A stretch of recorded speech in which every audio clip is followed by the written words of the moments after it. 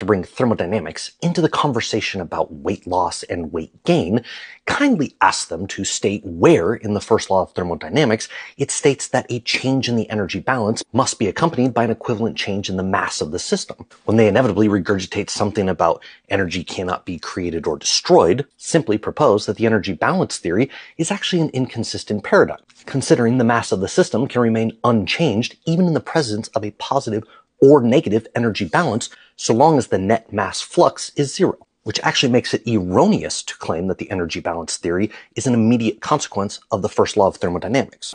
I know exactly why they call him the Dunning-Kruger man. The first law of thermodynamics, law meaning proven, cannot be disproven, in human terms means that if you eat more than you burn, you will store it as fat. You burn more than you eat and you will lose fat. Mass and energy are not the same, but when your body does store energy, it does so as mass, i.e. fat tissue.